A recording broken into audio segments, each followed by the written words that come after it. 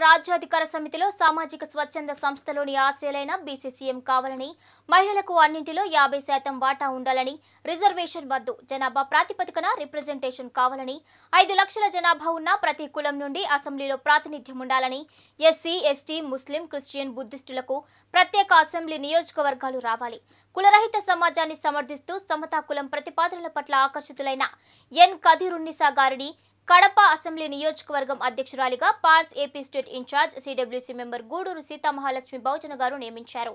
వీరు ఆంధ్రప్రదేశ్లో గల అన్ని జిల్లా పరిషత్లలో పార్లమెంట్స్ అసెంబ్లీ మండలాల్లో సమర్థవంతమైన నాయకులను గుర్తించి ఆయా ప్రాంతాల్లో ఏడు కులాలకు చెందిన ఇరవై ఒక్క మందితో కమిటీని ఏర్పాటు చేయించడంతో పాటు పార్స్ అనుబంధ సంస్థల బలోపేతానికి అధ్యక్ష కార్యదర్శులను నియమించే ఏర్పాటు చేయించి తద్వారా బహుజన రాజ్యాధికార ఆవశ్యకతను గుర్తించే విధంగా చేస్తారని ఆశిస్తున్నట్లు డాక్టర్ కె. శోభాగ్యరావు బహుజన గారు తెలిపారు.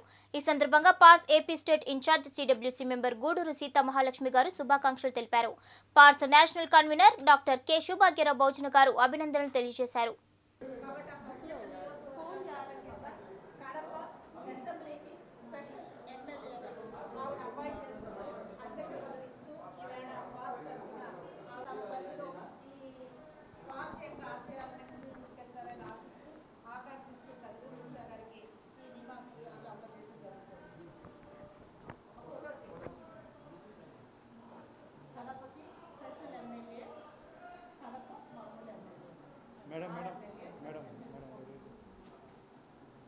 Like this video, please like it, share it, and for more videos, please subscribe to our channel.